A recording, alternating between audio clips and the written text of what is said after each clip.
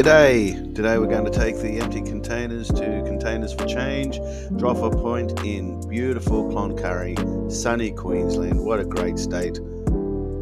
Here we go, just chuck them in the back of the car and off we go. Here we are at the Containers for Change. We'll just drop in some of our containers.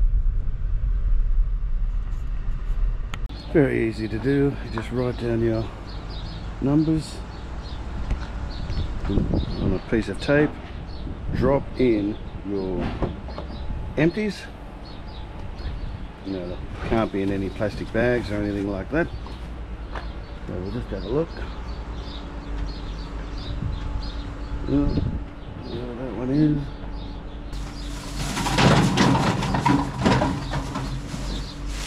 At least two dollars. Grab some sign up number and just put it there. Download the Containers for Change app and you'll be on your way. Thank you for watching and don't forget subscribe, like, share.